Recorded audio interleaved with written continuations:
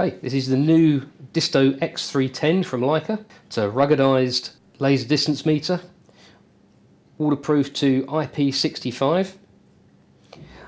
Also features a 360 degree tilt sensor,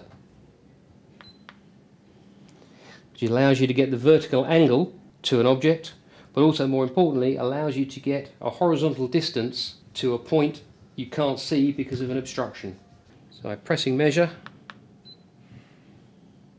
we have on the top the vertical angle, the slope distance to the subject, the difference in height, and at the bottom now it's calculated the true horizontal or plan distance. So we have an area function on the X310. We take two measurements, first one across the wall, the second one from floor to ceiling, taking in the height of the wall.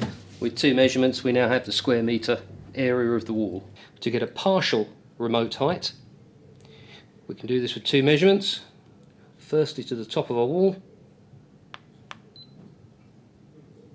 secondly down to the point we wish to measure.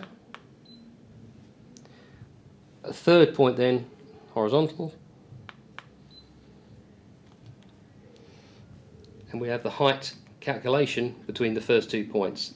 So this would be ideal for calculating heights of windows.